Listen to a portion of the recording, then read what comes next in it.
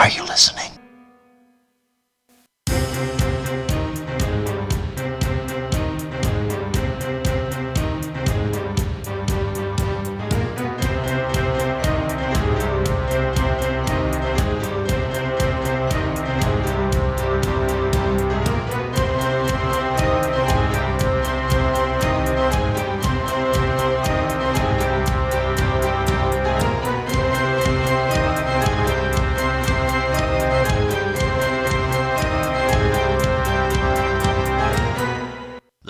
Matter is, I don't think you're listening to me at all, and that's of great concern.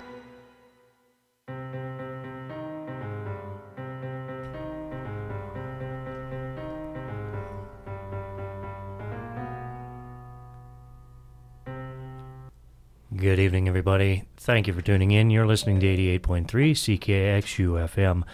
And this is the subject for every Friday night, 7 p.m. I am your host, Ben Christensen, and in studio with me is my co host, Mr. Thomas Stone. Good evening, all as usual. And uh, just a few, uh, just a few things for those of you new to the listening to this program. Um, we are a listener interactive program, so if, uh, if and when you are prompted, uh, if you have something that you hear on our program that you want to voice your opinion about, uh, each week we uh, have a different uh, topic of our uh, of discussion on the program. And so, if you are interested in voicing your opinions, you are welcome to do that. We are a listener interactive program. What that means is if you want to phone in and voice your opinions on something that's being discussed, you're welcome to do so. Our phone number in studio here is 403 329 5189. Now, what that means is you'll actually have to pick up that cell phone and dial numbers instead of trying to text us because we don't receive text messages. We will take your call. Um, that being said, uh, you can also uh, follow us on Twitter if you're social media savvy. Uh, you can find us by using hashtag More Than Talk Radio or uh, at the subject CKXU. That being said, uh, we now go to our favorite portion of the program, uh, this week's edition of What Happened, and uh, I'll turn that I'll turn it over to my co-host here to introduce our first first of two stories. Yeah, I found this one on the uh, site Raw Story. If you haven't checked out rawstory.com, I think it is, um, you should. Um, they have some very good, in, um, very good stories that you won't hear in mainstream news. Um, on there. Anyway, uh, I found this one. Okay, this is rather. Um, uh, it's just interesting. Neighbors furious as Florida man sets up a front yard shooting range, but police say it's legal. Now, the reason I thought this was rather interesting is, of course, we did a episode uh, way back on uh, gun control. But I mean, I, I guess I see it on both sides of the coin on this one. But at the same time, this guy says, well, he doesn't understand why the neighbors are angry at him. And uh, I, I would agree with the police on this one. Uh, it uh, he's not damaging someone else's property. He's not causing anyone else physical harm. So to me, what is the difference between somebody shooting a gun on their front lawn and someone shooting a high-powered uh, water gun? I mean, really, what what is the difference? Well, I also have to clarify that this individual uh, went above and beyond his own, uh, a little bit above and beyond, because he uh, actually demonstrated neighborly antics by uh, going around, knocking on all the doors in the neighborhood, and notifying his neighbors that he was going to be doing this. So, uh, in my opinion, very, very courteous neighbor. And I, I can understand that uh, most definitely there might be some safety concerns as far as a bullet going astray or whatever. The man wants to set up targets in his front lawn and practice shooting at the targets. Uh, he's told them what days this is going to be happening. I do understand to a certain degree, but at the same time, If you- what the hell are you thinking? This is a neighborhood. This is a residential street. There's children. There's uh, there's children. There's cars. There's other neighbors' houses, and by what I read about this, he's obviously not setting up the proper. But the cops uh, obviously don't have a problem with this, and that's maybe because. Uh, If he ends up shooting someone else by accident, at least they have the opportunity to shoot him. I, I, I thought you actually supported this guy. Oh, I do, but uh, I, I just find it I, I, I do have to say that um, there there's two sides to the argument. Uh, uh, Yeah. I mean, yeah, there's obviously going to be some safety concerns as far as uh, stray bullets uh, if he happens to misfire or you know something along that nature happens. But at the same time, this is we're talking about the United States here.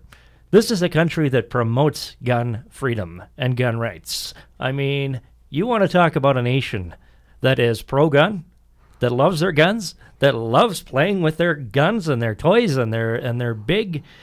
I, I'm not kidding. If they had the chance to hunt deer in the middle of the city at during rush hour at five in the afternoon, so help me God, I'm sure there's a gun owner somewhere that would love to do it.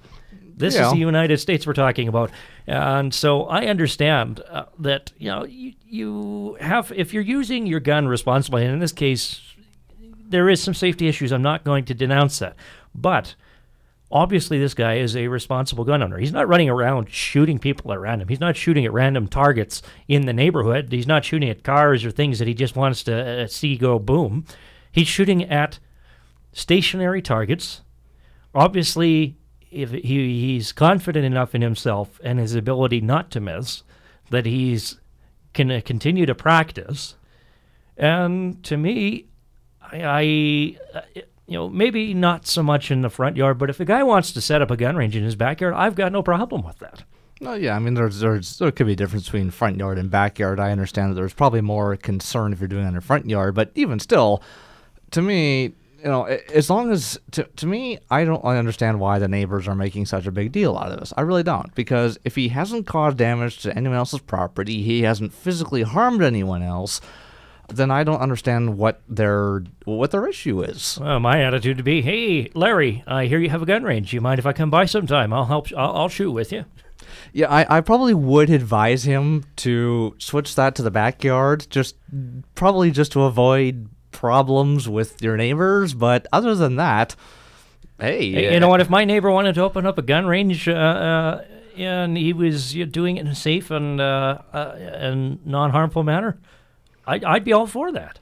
Well, I mean, really, what's the difference between shooting a actual firearm per se and shooting a pellet gun? I mean, other than about fifty or hundred feet per second, there's really not much difference between the two objects. Well, like I say, my my I, I'm sort of neutral on this argument. I mean, I see both sides of the argument. I see that, yeah, there's definitely some safety repercussions here. But if this guy is a responsible gun owner, if he's told the neighborhood, he's actually taken it upon himself to notify his neighbors, this is the day and the time that I will be doing this.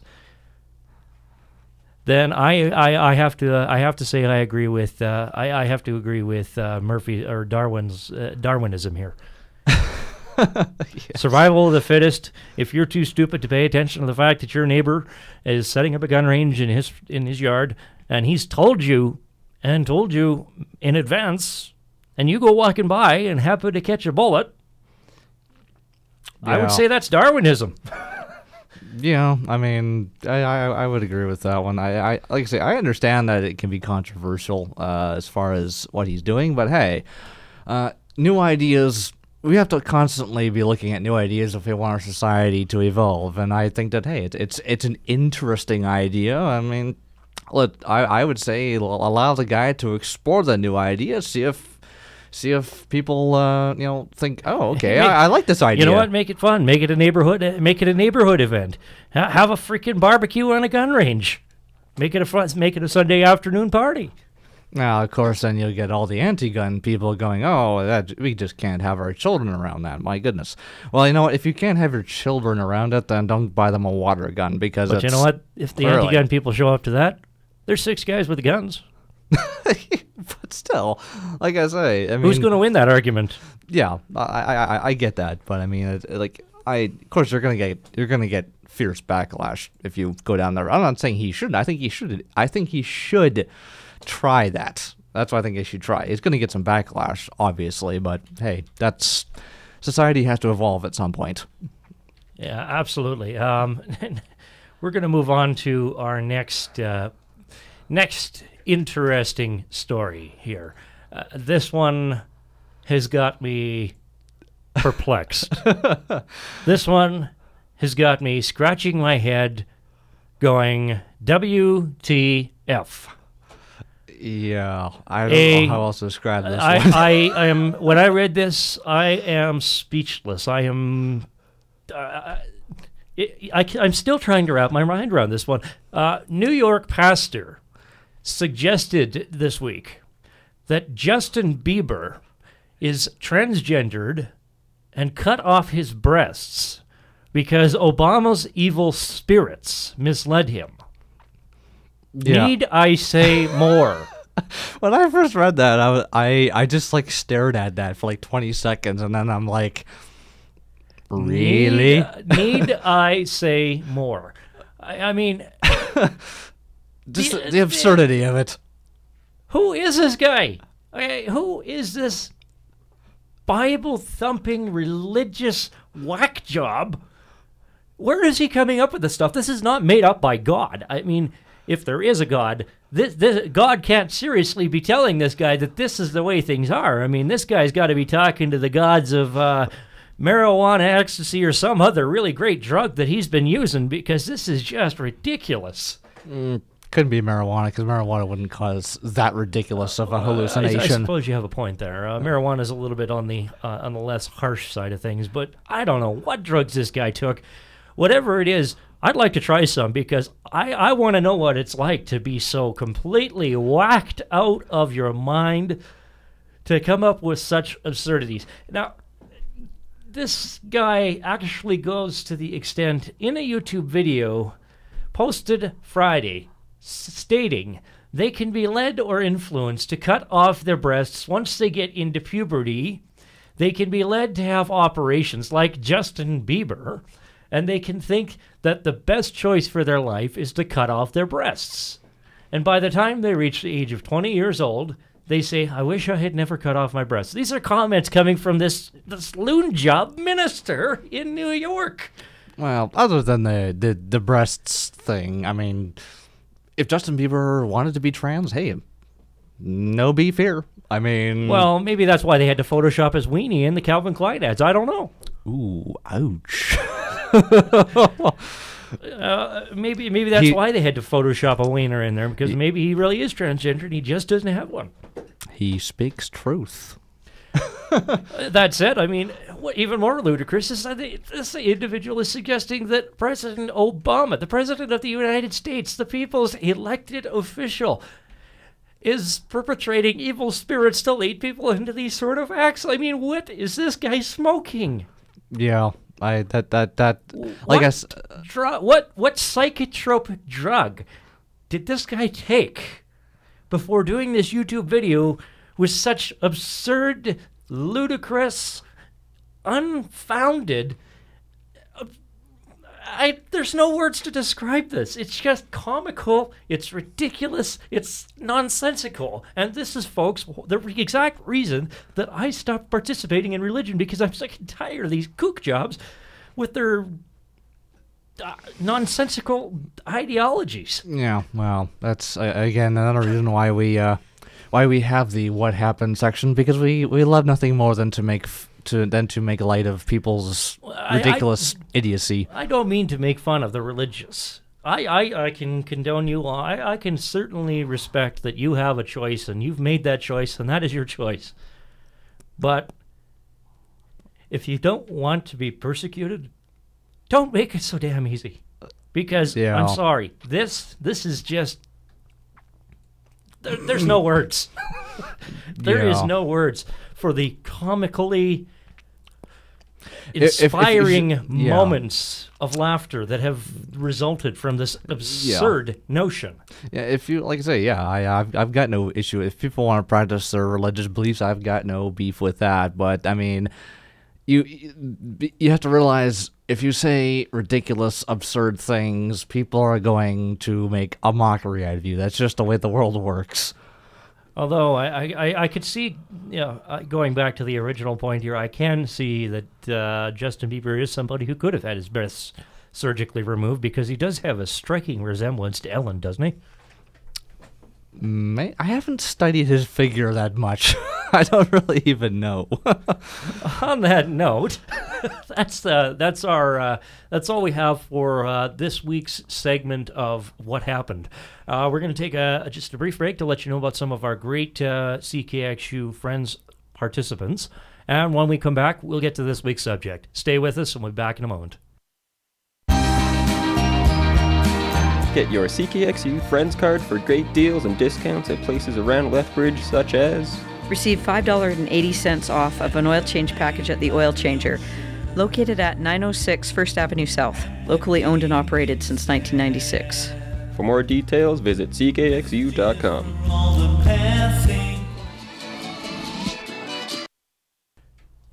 Welcome back, ladies and gentlemen. You're listening to the subject on 88.3 CKXU FM. I am your host, Ben Christensen, and with me in studio, my co host, Mr. Thomas Stone. Good evening, everyone, as usual. Um, this week on the subject, we are, for those of you following us on Twitter, you'll already know this, but we are talking about poverty. And boy, is that ever a very large subject itself. This should almost be a two part series because there's a lot we have to talk about on this subject.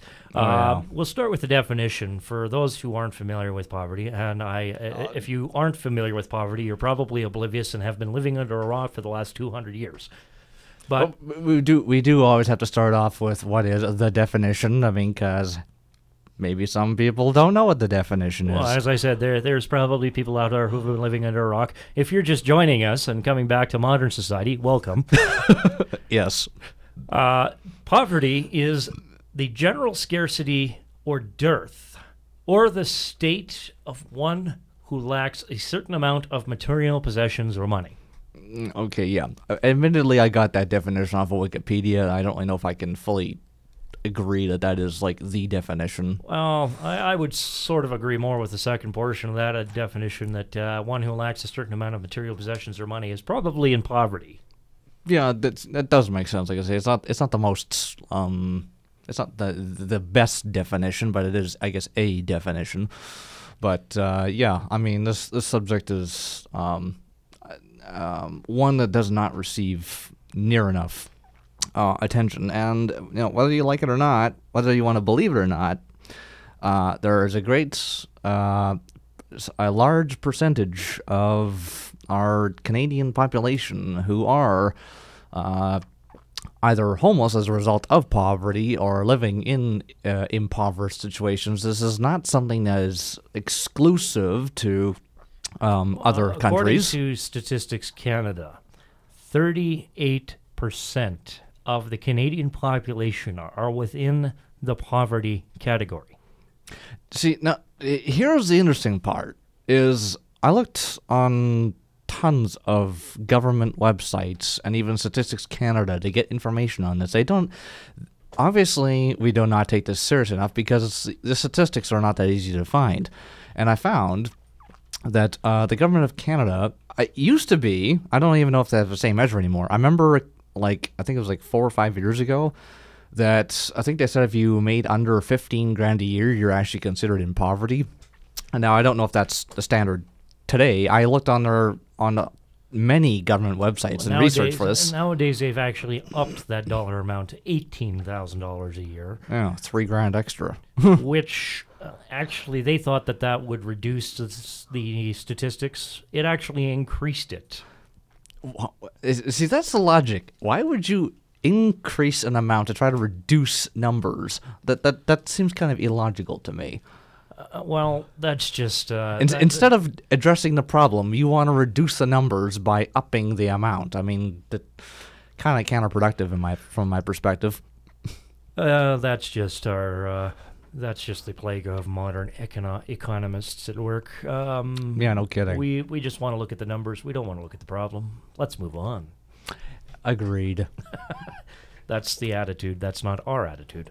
Just to clarify. Yeah, that's yeah. They they, they have the attitude of uh, well, these are the numbers. Uh, have a nice day, kind of idea. It's just it's like they don't want to give it a second glance. Sadly, Now, because we're looking at poverty and we've now established what poverty is, we need to look at what is the cause of poverty? And uh, I go back to a show we did a few weeks back, a couple months ago here when we were starting out our program. Yeah, our, our housing On- one. Uh, not just our housing one, but also on consumerism, because yeah. uh, consumerism, we touched on this a little bit. Um, and within the consumerism short program, we actually established that statistically, Canada and North America is one of the most wasteful nations in the world. And uh, poverty is actually a byproduct of that. Yeah, that that's uh, it's it's quite sad. I mean, you know, when I, when I look at um, economists are constantly saying, "Oh well, you know, our economy is doing so well and so great." Well, to me, you have to look at it differently because what I'm seeing is, especially especially from the our consumerism episode, um, so you got tons of people going to buy stuff and yet there's a lot of people with high credit card bills that are barely paying for those credit card bills. And it's just like is our economy really doing well? Or because actually i've actually noticed this about the last 10 years more and more people are resorting to credit not physical Wow. money that they that they actually earned You know, I remember talking to somebody who was a manager of a Tim Hortons location. She was always the uh, supervisor of the store, and she quite regularly worked the drive-through. And she was telling me that uh, one of the uh, one of the things that she saw quite often, and this was uh, one of the more popular and busy Tim Hortons locations at Gallery.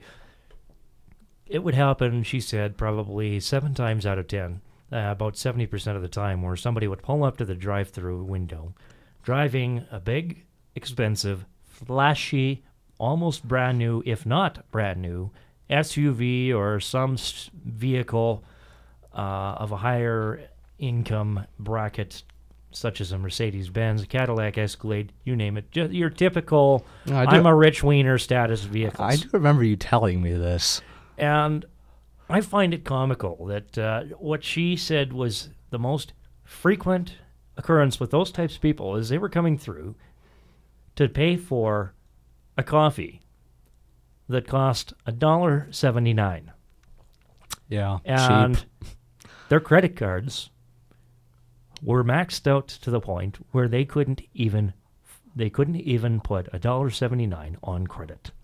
Yeah, that is just sad. So I guess that yeah, but yeah, there's a distinction between those who are living beyond their means and there are those who are simply not making enough to actually get themselves a foothold. There's a, there is a contrast. Well, uh, those those type of folks, I honestly think they are trying to personify themselves as something that they aren't.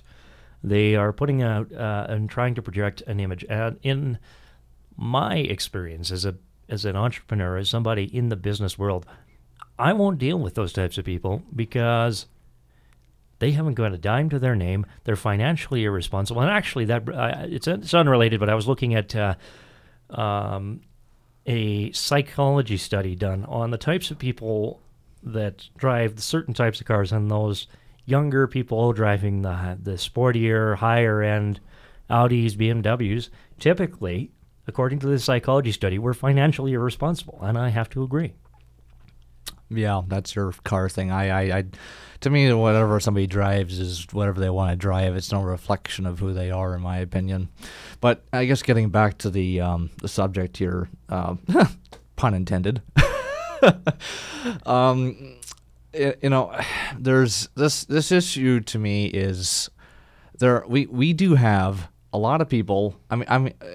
I think that uh, the average person can walk down the street in even downtown Lethbridge or downtown Calgary, Edmonton, Vancouver. I've been to all cities, uh, all those cities, and they're you know Vancouver's doing better, but especially Alberta here, I'm we're not- not doing very well. I'm going to point something out. Uh, just to give an example of somebody that would be classified as being in poverty, would be somebody who is working minimum wage, earning 10.50 an hour, working 40 hours a week, bringing approximately $1,200 a month home gross before tax. After tax, maybe around $850, $900. And from that, they've got a rent of about, we'll say, 700 leaving them $200. And of that $200, they now have to pay $100 on insurance. That leaves them $100. And of that $100, they've got to spend 40 on gas, That leaves them sixty dollars, and by the time they've done paying everything down and covering their very, and this is not including food, by the way, Yeah. somebody like that who is, if they're lucky, able to pay just their core basic living costs. That would be somebody who is defined as the image of poverty. Somebody who's trying their best to get ahead to uh, create some form of financial stability for themselves yeah. but are barely getting by, pay, living paycheck to paycheck to paycheck. Yeah, and I, I think that these people are way t- too often um, they're, they're way they're too often criticized for being societal leeches and everything else, which I think is just absolutely disgusting. It's I mean, it's, do your homework on something before you accuse them of anything. But I mean, actually, the government of Canada actually has their own measure. Not sure if I really fully agree with this measure, but their measure is I think it's thirty percent. If you're spending above thirty percent, which is roughly one third of one's total paycheck on on uh, housing, then if you're spending above that, then you're spending too much. If you're spending under that, then you're doing well. Well, going back to our housing costs episode, um, it was established by the CMHC, the Canadian Mortgage Canadian Mortgage and Housing Corporation, that a low-income person was classed as somebody who is paying uh, more than seventy percent of their monthly gross income towards base living expenses for shelter. Uh, that being essentially rent and utilities. That's uh, it's, a it's a fairly reasonable measure, Uh, but uh, one thing I, I, I definitely do want to you know completely dismiss before we get too far is this idea that you know uh, those in poverty. I've heard the accusation so many times that those in poverty uh, choose to be there, that they're being irresponsible with their money, and that if they worked hard enough, they could get out of it. Um, that is so not true. I want to I want to put that out there right. That is not true because I know I've known of so many people who are working in excess of 12 hours per day full time and they're still scraping by. That that is the state of affairs in this country. And to add to that, I've met lots of people who work 60 plus hours a week, are f- employed full time, have a pretty good income, and they are still struggling to survive. Now, that brings us to the next question What is causing all this? What is the problem here? Well, I think it's um, there's there's many factors. One, I think um, you know, I actually uh, I was many years back. Well, not many. It was about five plus. I can't remember exactly. I think it was back in 2010, roughly 2009, 2010. Um, I actually was tr- trying to produce a documentary on this issue um, uh, from the from Calgary. Actually, uh, unfortunately, never it never got done.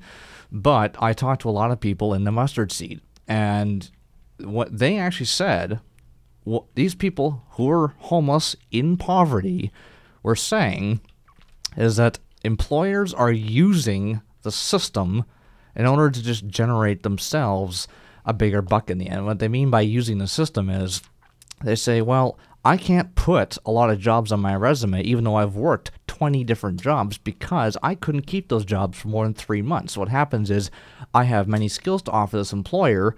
I go to this employer, and after three months, which is the probationary period, they basically say, oh, well, it's not working out, or some other lame excuse, and then they get fired from the job, even though they were doing a good job. It's basically part of this is a lot to do with employers that are just using the system to get themselves in a better position financially at the expense of other person's other people's hard work. And that to me is disgraceful. Well, that, by the definition in North America, is called capitalism. yeah and it never works I don't necessarily endorse the mindset of capitalism, but I do believe that there is, uh, you know, in any business, it does not matter what your business is. It does not matter what you do. It does not matter what product you offer, what service you offer. Your business will not succeed without good employees. And here's an example, and we've used it before. We look at Walmart, we look at Costco. Walmart employees are miserable, unhappy, and they have one of the highest turnover rates for retail franchises in the world. Now we go to Costco. Costco employees are happy. They have a high morale. They've been at their job for years upon years. And they are satisfied with their employers. Yeah. You want to know what the difference is? Costco pays their employees well Yeah. and treats their employees with the attitude that their business is the byproduct of their employees. Well, that's the thing is it's it's better economically, even from a business perspective. Even if you even if you do believe in capitalism, it makes more logical sense to you know if somebody is contributing to your company, they're doing a good job, they're coming to work on time, they're giving you good results and yielding you better profits. Why would you fire that person for the sake of not wanting to pay health benefits? I mean, you're firing somebody who is contributing to your higher profit margin and you want to get rid of them because you don't want to have to pay out benefits. You know what? I, I actually have had the I, I've had uh, businesses in the past where I've had one or two different uh, one or two employees, and I will tell you, I've had both sides of the spectrum. I've had employees that hate uh, that have hated working for me because they weren't didn't feel like they were getting paid enough. I asked them how I could fix that. They told me how I could fix that. I made it right. I've also had employees who have come to me and said, I really like working for you. I think you're a great employer. And I'm content with my pay. I'm content with how you treat me as an employee. And I want to keep working for you and helping you grow your business. And that is ultimately one of the key factors that I think would help to change this poverty scene that we see in North America.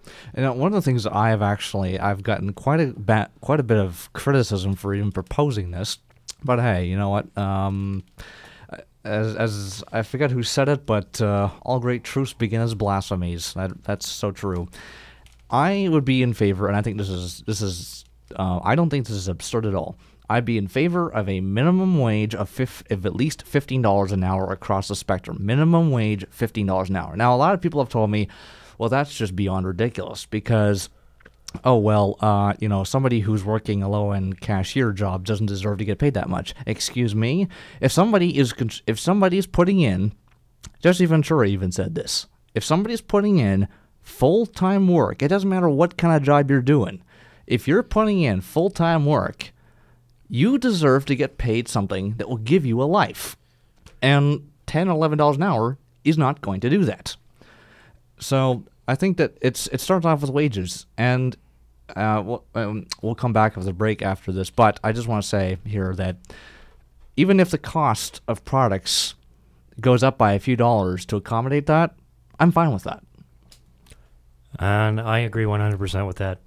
As a business owner, I see no difference in the cost of operating my business to keep my employees happy because ultimately it costs me more in the end to train new employees, to hire new employees, and to pay people to find those new employees than it does for me to pay a few bucks extra to keep a good one. We'll be back in a moment. We've reached the halftime part of our show where we usually play a nice little tune. And uh, yet again, in our randomness of selections from the CKXU studio, we've got uh, this week uh, an album called Dig Your Roots Electronic Dance. And uh, we're playing you a track called Ballad, uh, Ballad of the Lonely Mogwai by an artist out of Winnipeg called Balboa. So I hope you enjoy that. We'll be back in just a few minutes, folks.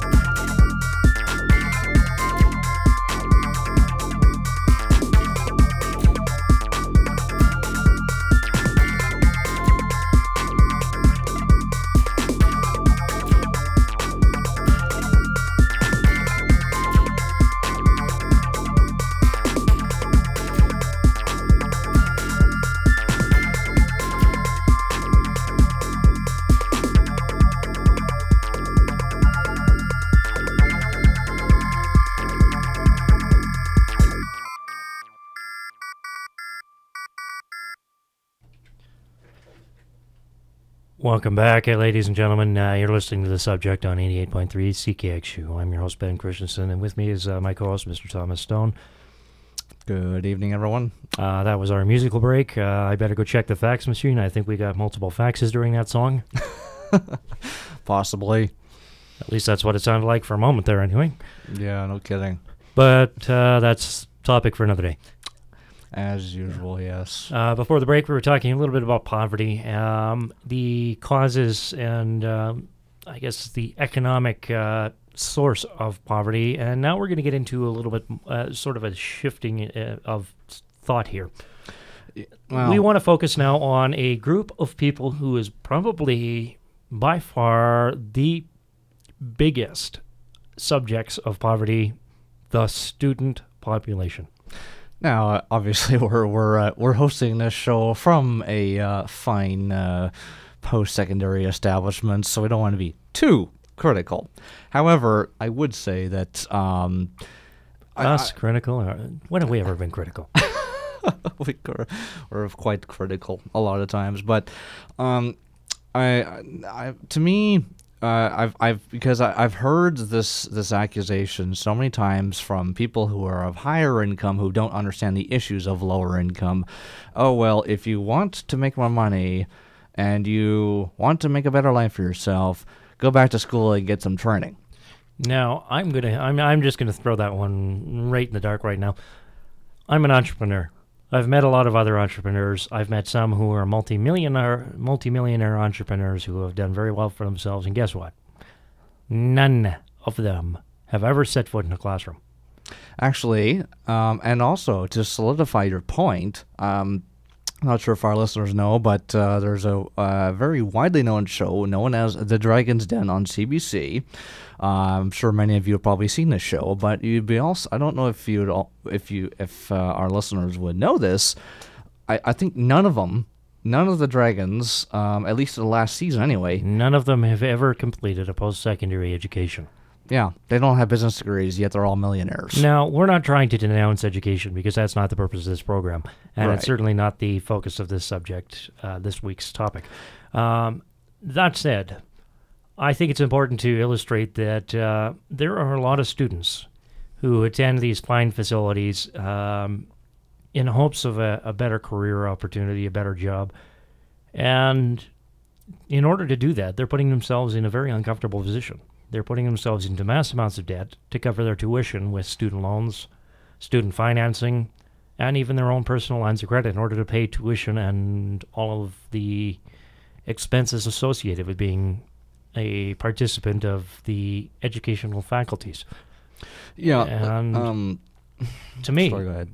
to me, I don't denounce that there is some careers that students should attain an education for. But what statistics show is that even though you believe that that degree you receive at the end of this is going to get you that dream job, statistics have shown that that's just simply not the case. And as a result, there are a lot of great people out there who are you know, top of their class, who are fine, hardworking students, who are now paying off thousands of dollars worth of debt for a piece of paper that did them no good. Well, I, I think it's important, like I say, to point out here that, um, like, I've I've seen this this issue of poverty. It it's ever growing issue because I mean, if you think back like 20 years ago, 20, 25 years ago, something like that. The only people you would ever see typically in an impoverished situations are people who, um, who were able to work, who refused to work, and you know, uh, and individuals like that. Nowadays, there it's such a much larger uh, issue. It's not just you know, there's a lot of people who are in those situations who are working. So that's what I'm saying. I want to make sure we get the distinction because so long ago it wasn't the way it is today. Now today we're seeing um, so many more people struggling who you know 20 years ago wouldn't have those struggles because just the Well, was- economic was- landscape is so much different. It was a totally different scenario in in the scheme of things 20, 30, 40, 50 years ago. And back then, instead of going into business or going into this career or that career, with the exception of being a doctor or a lawyer, topic for another day, Yeah, no kidding. um, other than a few select uh, career options, people really didn't attend educational post secondary education. It was a, it was uh, 50, 60 years ago.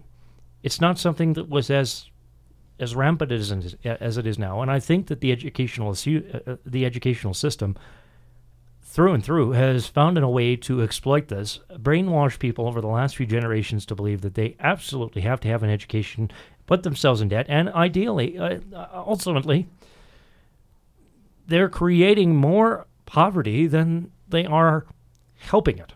Yeah, I mean, if uh, it was actually a meme I saw like way, I don't know how long, fell, how far, how far back it was, but uh, um, I, I think it was, it was um, somebody that was much older than me uh, posted this. I I couldn't disagree with it more.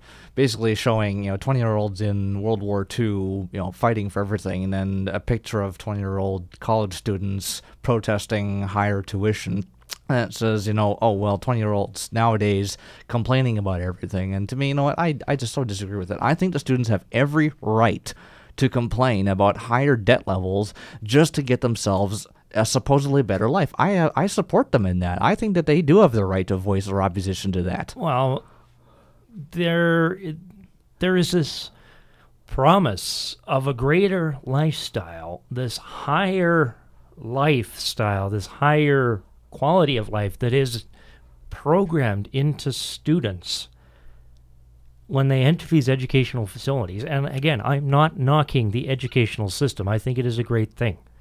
Yeah, one But- does need education. why is it that if the educational faculties are so good at creating a higher quality of life that so few students who are graduates of their programs are ever able to get into the field of work that they spent two years or four years learning about and trying to get into? Yeah, and, and like I say, poverty. Um, I, I think that when the average person thinks about poverty, probably the first image that comes to their mind is some homeless guy, probably weather beaten, with a really torn up jacket, ripped jeans. You know, that's kind of the stereotypical view. And the thing that's, is, that's the perceived image of poverty, but people aren't receptive to this idea that somebody who might be still dressed in nice clothes, might still drive a nice car, might still have a nice place to live, is still without money and resource to cover their bare and basic needs. Yeah, uh, like I say, I, I go with uh, Jesse Ventura's comments on this. Uh, basically, if it doesn't matter if you're doing the low end job cashier or if you're a manager somewhere, if you're putting in full time hours somewhere, uh, you you deserve to get paid a wage that you can live on. It doesn't it, doesn't really matter what the job is. If you're if you're putting your heart and soul into a job and you're working as hard as you can to get by, you deserve to get paid for those efforts. And I don't, I, I disagree with this idea of creating a sort of class system where, Yeah. you know, a, a Tim Hortons cashier should somehow get paid less, uh, you know, than somebody else. I mean, Uh, I completely agree with you on that. Um, we're just going to take a little bit of a break here um, and let you about know, let you know about some of the other great programs here on CKXU. Stay tuned. We'll be back in a moment here on the subject.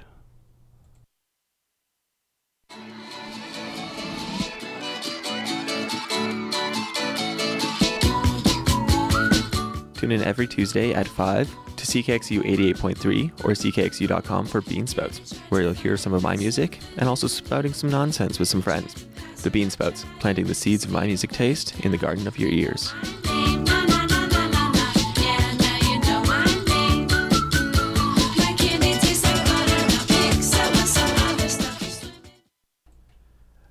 Welcome back here to the subject on 88.3 CKXU. I'm your host, Ben Christensen, and with me, my co host, Thomas Stone. Uh, continuing where we left off before the break, there, we were talking about uh, the yeah, poverty as a whole. And we do remind our listeners that uh, for about the next 10 minutes, we still have some time. If you want to phone in and share your opinions, you can do that by calling our studio line here, 403 329 5189. Let us know how you feel and what you're thinking, what's on your mind. we want to hear from you. Yeah, about five minutes is. Uh, try to call in the next five minutes because we got to wrap up here soon. Like I but- said, we got about 10, uh, fi 10 minutes left in the show. Um, so if you have something to say, give us a call in the next You know, 10 if- minutes. especially you know if you're working poor and you're sick and tired of people rejecting you even though you've got skills hey we want to hear from you i i've heard that story so many times i think you know i think i, I it's this issue of poverty um, is it's very big it's not getting near enough attention. And there is a class of people out there who are fighting to put food on their table and they are getting shunned and criticized by society because they're not making enough money or whatever the reason may be. just before the break there we were talking about the uh, you know, how education plays a role so uh, people are going to school getting these educations and putting themselves into mass amounts of debt and getting nowhere from it. And that is most definitely a contributing factor to poverty. I want to i want to touch here on another one and that is the employers themselves. And i believe without a doubt that the employers are probably the biggest culprit in contributing next to the government, of course, because well, organized crime is what it is. Yeah, well, we'll, But leave, we'll leave that We're going to leave that alone. We are not here to be political. Um, the employers in this world are single-handedly probably the biggest culprits in the poverty circle. Oh yeah, And the reason I feel that way, I have been an employee. I have been an employer. I've been on both sides. And me, I am the kind of guy, if I've got somebody working for me, I value hard work. I value somebody who is making my business look good. I value somebody who is putting their ass on the line day in and day out to help me further my interests. I have respect for and I value employees who are like that. I do not respect employers who treat that type of employee, the hardworking, job loving, enthusiastic employees, the ones that are making you look good, I do not condone employers who treat those employees like trash. oh yeah. I, I I think that's disgraceful. One thing I actually I just occurred to me. I want to get this out there, so you know everybody who is in this category um, gets represented. The one thing that bugs me more than anything is when people criticize the disabled for you know supposedly being leeches in society and being contributors to their own poverty. You know what? To me, it is the most shameful thing to bash somebody on disability because you know what? Depression is a serious issue. And uh, I think that uh, as a society, you know, I've heard so many people say, "Oh well, uh, it's it's unfair for me to be working a full time job but contributing to the welfare check of somebody else." And you know what? In essence, what you're saying is that somebody who is on disability, who may not necessarily have a physically visible handicap, is being criticized, and I agree with you. It's unfair. Yeah, I mean, to me, uh, like I said, I I made my comments before saying, you know, if you are working full time, you deserve to get, um, you know, a, a reasonable. You deserve to be able to live a happy and reasonable life. Now, those who aren't able to work deserve just as much of a reasonable life. And to me, you know what? I, I think it's. Uh, I think um, that we should be complaining more about the politicians. Like I said, I'm not trying to get political here, but I think, you know what, to me, some politician who's taken $150,000 of my tax money to do nothing is a far bigger issue than the person getting a $1,600 raise check. It's a, to me, you know what, that 600 bucks, I don't even care about it. Take that money. It's it's rightfully theirs. I, I have to agree with you. I uh, getting back to what I was saying, uh, employers to me, as I said, being on both sides of the spectrum, I think that employers are, as I said, the biggest Yeah. culprit, and those who are disabled are just a victim of an unfortunate circumstance. They're forced into poverty not by choice, but by circumstance, and that is negligent on our part.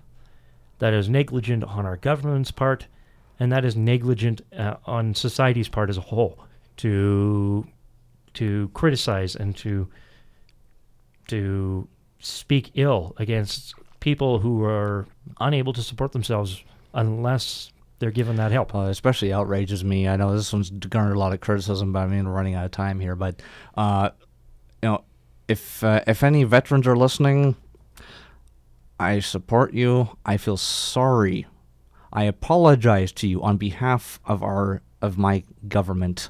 I am quite frankly ashamed of how my government is treating you. You have my undying respect. You guys deserve every darn penny that you get. And I am so sorry that you guys are being shafted royally. You Yeah. deserve so much more. As I said, the, these are all types of people that are being forced into poverty, not necessarily by choice. And we, we're sitting here pointing the finger and doing the finger wagging at them because they receive government support.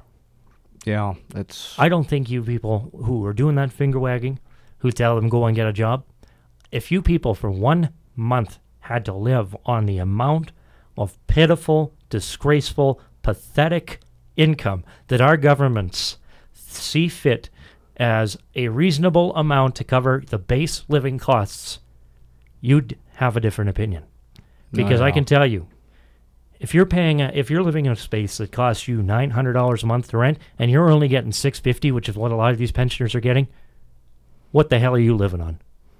And quite frankly, what the hell gives you the right? Yeah, uh, going to- quickly, um, going back to what you were saying about employers, you know, I, I agree with you. It, it it used to be, you know, like 15, 20 years ago, that you could, that a person with le- next to no skills could walk into their local 7 Eleven, gas station, whatever, and you get a job within a couple of days pumping gas or doing a cash register or something low end, and you'd have no problem. Nowadays, it seems like not even a person with no skills can get, you know, even the baseline job. Well, here's a good example. I know somebody that uh, was self employed for several years, went out. He's looking for just the most basic, baseline job. And nobody will hire him because he's been self employed, because he's of an entrepreneurial mindset. He is not an employee, he's the, he's the employer. Has that mindset. Nobody wants to hire him because he doesn't share the employment mentality. And to me, it's pitiful. Oh, yeah. A job is not a privilege. A job is a necessity of life. And it does not matter what walk of life you come from, you deserve to have one if you have the desire to have one. And nobody, and I do mean nobody, should be left in the dirt, sucking the dust, barely scraping by, at the hands of the employers who are perpetrating this poverty because the employers have the right to hire more employees. Major corporations are not starving for money, but they're cutting jobs each and every day. Why? Yeah. Because they want to keep the money for themselves. And to me, that is the ultimate contributor to what we're seeing on the poverty realm.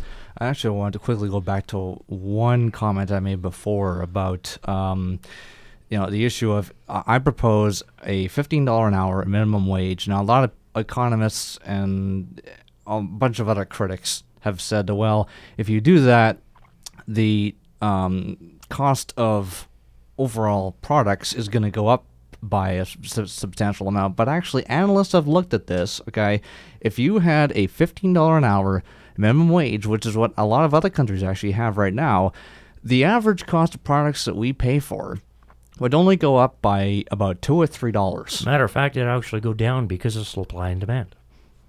Mm, well, well, there you go. I mean, that's some, that, that that's the thing. Is this this idea that a higher minimum wage means higher costs is not necessarily true. And to me, the employers, you know, especially the big corporations who are bringing in the billions, um, there's no excuse for them not to pay a Well- decent living wage. I, I I'm going to add uh, leave us on one final thought here. I fully agree. I do not think that 10.50 an hour, 9.75 an hour, or anything below $10 an hour is nearly enough to survive on. The basic living livable amount of income that anybody should receive now is $15 an hour. I think that the government needs to consider that along with inflation, the cost of average living costs has gone up, that minimum wage is still sitting at a standard which was assessed by the government in 1987. Only recently did we raise minimum wage from not eight uh, in the last few years. I think uh, at one point it was 875. Now it went up to 950, and now it's around 1050 an hour. Still not good enough, but we're getting there. So Yeah. let's put it up another five bucks an hour. I guarantee you, what we'll see, we'll see an economic boom. We'll see job stability. We'll see, uh, we'll see more surplus money coming into the economy, greater tax revenues. This is all a byproduct of a higher earnable living cost, and the government, the employers, and other organizations responsible for poverty are doing their very best to ignore this in order to make a few extra bucks. On that note, we'd like to thank you for listening to the subject here on 88.3. Just a brief reminder that you can always call into our program. Now is not the time, but anytime during the program from about 7 o'clock p.m. when we start the show up until about 7.50 p.m., you're more than welcome to call in and voice your opinion on any of the topics we're discussing here on the subject. Our studio line hasn't changed. The number's always the same. If you know how to use a phone, it's very easy. Pick it up, push the numbers, and you'll hear a little dial tone. If that dial tone starts going bring, bring, you know you got the right number. And if somebody says hello, you know you dialed the right number. Our phone number here, 403 329 5189. Also, make sure you find us on Twitter if you're social media savvy. Hashtag more than talk radio. That's all we that's all for this week, folks. Thank you for tuning in. We'll talk to you next week. Enjoy your weekend.